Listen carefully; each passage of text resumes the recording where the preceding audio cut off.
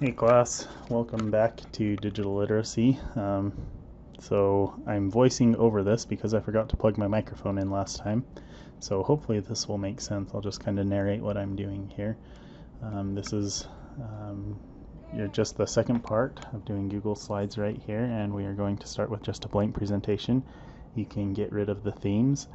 Um, we're not going to need those uh, for this time. Okay, so your assignment, you're just going to be able to choose whatever topic that you want. For this one, I'll just uh, choose one. We'll use Fortnite. Just wait for me to type that because this is hard when I am doing stuff not at the same time. Okay, so there's Fortnite in our title text box. Let's add a subtitle. It says the worst game ever, right? Because nobody likes Fortnite and it's a waste of time. So click over here um, so what we need now is a background. If we right click and go to change background, then you can choose a color or if you would rather have an image which usually looks better then just click on um, you can click on camera if you want to take a picture or you can do a Google image search that's probably the easiest. Just type in Fortnite. So click on the one that you want. This one's not going to work. Watch there's a spoiler alert for you. Okay error oh no it's too large. Who could have seen that coming? Anyway so let's choose the other one. Click on that click insert. And there it is it appears in the background. Click done. Okay so we have Fortnite. We can't really see the subtitle though so we'll probably need to change that. Change it, it's selected to gray right now, and just change it to black. For some reason it didn't change that time.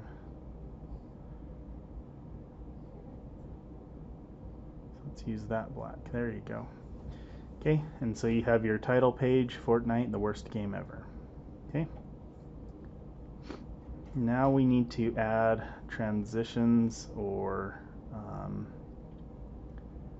animations to the text and the slides itself. So the difference between an animation and a transition is the transition is from slide to slide. So every time you switch slides, it will go to a different one or it will like dissolve in or fly in from the left. Um, the animation is for something like a text box or a picture, not a background though, a text box or a picture.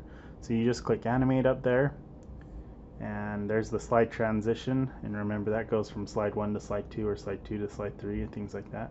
So you just click right here. You can hear my baby in the background. And go from none to um, let's choose I think we do dissolve yeah. Okay so dissolve. And then object animation. So this will be our Fortnite title. And then we'll just do fade in, click play just to preview it. So there's the slide transition.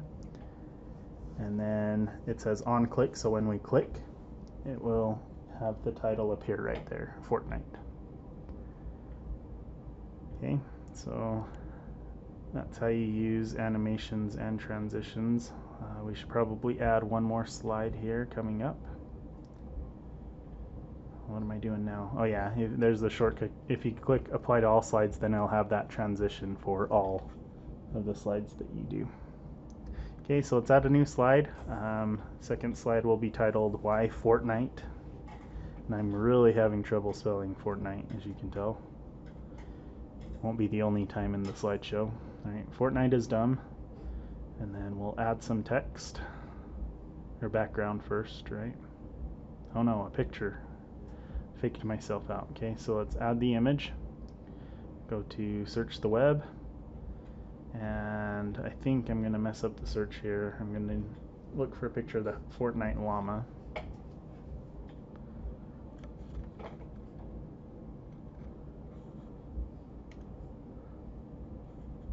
Yeah, I search for pinata, but then I do the llama after. Okay. Another spoiler alert, this one won't work quick insert. Oh no, error, right? Okay. So I have to redo this part.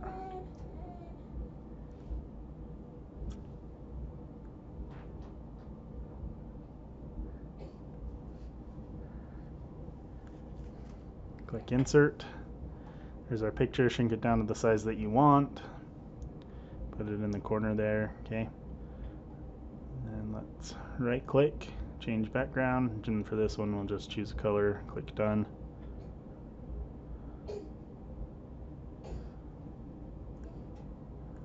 Why Fortnite is dumb, it just is, right? You should have a little bit more text than that. Um, anyway, and then we can choose our animation. We already have the slide transition set for all of them on Dissolve, so you just need to click on the picture and text and then play. Right, and then on click, so click there, and in comes your picture. Okay, hopefully if you have any questions or anything, just let me know and uh, you can email me, you can call me, that's fine anytime during normal school hours. We do have a couple meetings while this is going on still, so it may take me a little while to answer your email, but hopefully we can get things going. Thanks for watching.